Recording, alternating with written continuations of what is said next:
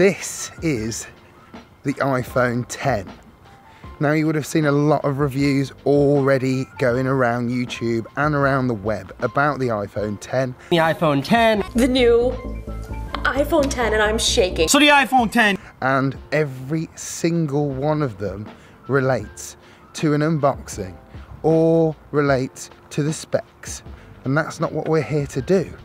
Today, we're here to test its ability for a complete amateur like me to take some amazing sneaker photography.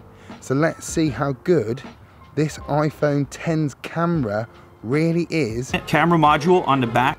When you are not a competent photographer. The iPhone 10 has the best camera of any iPhone that has ever been released, and the camera itself is very similar to the previous Plus model iPhones, but it has got some improvements with its extra optical stabilization on both those lenses. Anyway, let's get back into the review. I am not being paid for this video by any parties whatsoever, including Adidas or Apple.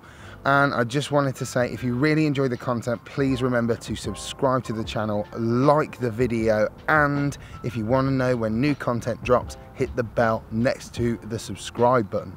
This Friday, I picked up this. I feel like I finally got an upgrade of my upgrade. And um, one of the really key features about this phone is supposed to be its amazing camera. It's got a better camera than the iPhone 8 Plus and it is one of the best camera phones on the market. It comes very, very close together with the new Google Pixel 2, but what's really important for us sneakerheads is some good quality sneaker shots. We're going to have a look at its ability to capture detail, its ability to create a blur effect in portrait mode and sort of create that depth, that shallow depth of field and a low light test. I don't own a DSLR camera. I have no intention of purchasing one anytime soon and I really use my phone to its limits and the last phone I had was the iPhone 7 and I had to do so many tweaks to make the images look good. So we're going for the Kith Mid Ultra Boost. As you can see, it's got a lot of different tones and colours woven all the way through it, being that it's a prime knit shoe. And we're also going to be going for the My Adidas uh, version of the Ultra Boost 2.0 with lots of multicolour detail in the back of the heel. Let's see how well the photos come out with those two shoes. And a little joker in the pack, we are going to see how well it can pick up the detail in a boost ball. So the first thing we're going to be doing is taking a picture of the Kith mids and I've sort of set it up. We've got a little bit of sunlight and hopefully that's going to give us enough to get a really, really good shot. And obviously with the camera as well hopefully it's going to be pretty epic. So let's go and see how it works out. So we're going to go into the camera open that up and we are on the stock photo setting. And we're going to go two times magnification see what that's like take a couple of shots with uh, two times magnification and then We'll come back out, we'll do a one times magnification. Obviously that's quite a long way away from where I'm stood. Um, and now we're gonna go and try portrait mode. So we'll start with like the natural lighting portrait mode.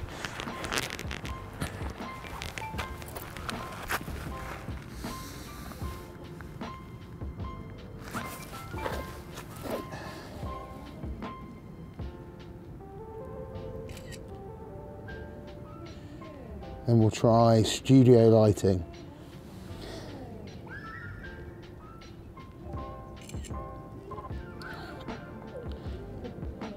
Let's try and get a little bit closer, try and get a bit more of that detail, see if we can kind of get that shallow depth of field effect.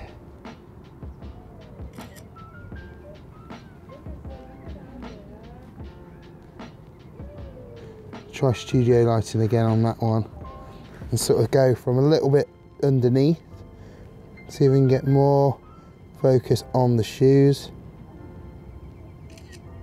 Excellent. I think I'm quite happy with those shots. So we'll try my Adidas Ultra Boost now. So let's give them a try. I'll go one time zoom.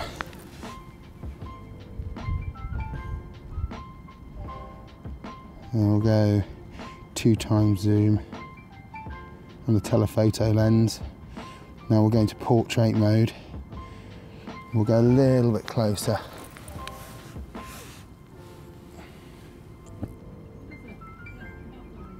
We'll do natural lighting. Go a little bit lower. Try studio lighting.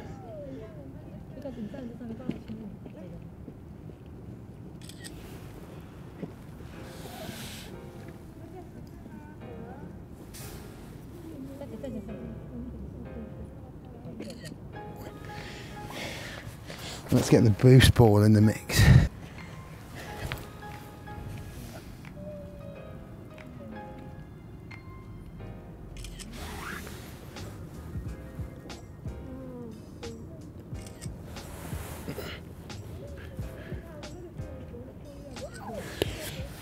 And that's it. You know, I think that overall it's a hundred times better, in my opinion, than the iPhone 7. Um, I've not had the iPhone 7 Plus or the 8 Plus to know whether the camera is a lot better, but obviously we just want to know you can actually take really good quality, good detail images on the fly with the iPhone 10 and the last test I'm going to do is a low lighting and then we'll review the shots at the end of this review. We are going to go and do the low light test. Now we are outside of my street actually and there's quite a lot of street lighting. So these usually are the types of things that will help you to get a better night shot. You know for a fact, unfortunately, smartphones are not going to get a lot of light in their camera, areas that have not got a lot of light in. So you've just got to try and play with what's available to you to get a really good shot. Now, this camera recording isn't really going to record in the best of light either. So I'm going to just go through on the screen record these two pairs of shoes. So we've got the OG Yeezy V2s and we've got the multicolours back out again. And I'm gonna do a brief overview of these shoes shot back in the shoe room. As we know, trying to take any kind of low light imagery is difficult, especially when phone cameras are so small. So we're just gonna take literally a couple of shots of both the Beluga and of the multicolour and then we'll have a quick look over them. Maybe we'll do a very, very slight exposure and color correction, maybe a tiny little bit of contrast just to bring some light back into the shot. But I will show you back in the sneaker room what effect that has. So let's get back indoors. It's bloody freezing. So we are back in the sneaker room to discuss this and its ability to take seriously cool sneaker shots. So let's get into the results of the shots that we took outdoors. Basically consisted of clarity, uh, detail, obviously the ability to kind of create depth of field, uh, even if it's shallow, and also a low light test. And we're gonna go through every single picture really quickly to just show you how good or bad, you know, we need to have a look at close and personal this phone's camera really is. So from the phone itself, this is the actual overall shot. So let's go into that image and we're gonna rotate. We're gonna have a really, really good look at the shot. So let's zoom right in, let's have a little look. So you can see huge amounts of detail in the shoe. You can see huge amounts of difference in the overall prime knit colors and everything that's sort of woven through, even down to the lacing. And the one thing that I'm gonna really be picky on, and this is one of the things that is a difference usually between a DSLR and a smartphone, is its ability to really, really pick up that crisp edge around the back side where it's creating that depth of field. And all in all, I'm really impressed with the actual ability to sort of bring forward the image of the shoes and really make it feel like there's some depth to it. And that was done with natural lighting on the actual iPhone itself. We're gonna have a look at the Ultra Boost. This is incredible. This shot overall, this one here, is probably one of my favorite photos I think I've ever taken. When you really zoom in close, you can see all the color of the multi-color pattern at the back of that 2.0 Ultra Boost, even down to the fine detail of the boost. You can really see that in the shot and it's just such a crisp image. Everything about this shoe image itself is absolutely phenomenal and the, the ability in portrait mode to really crop the, um,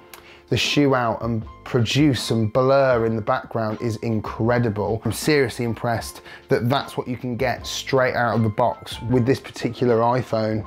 It's pretty incredible. Lastly is the low light test and its ability to capture in low light. Now the image that you see here is pretty good. All in all, most camera phones struggle to pick up a lot in low light or they create a little bit of grain.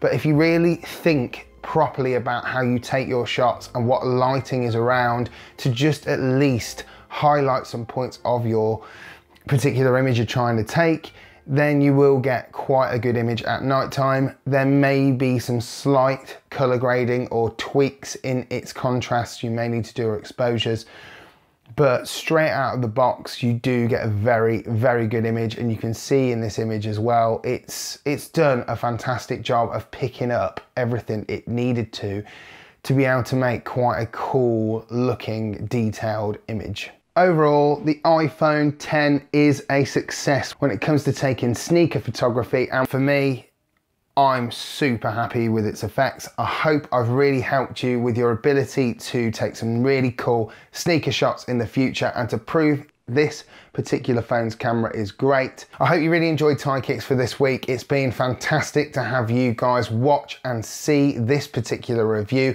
This time next week, we're gonna have another review for you guys of an amazing new Adidas shoe that's come out for the winter. I will catch you for another one this time next week.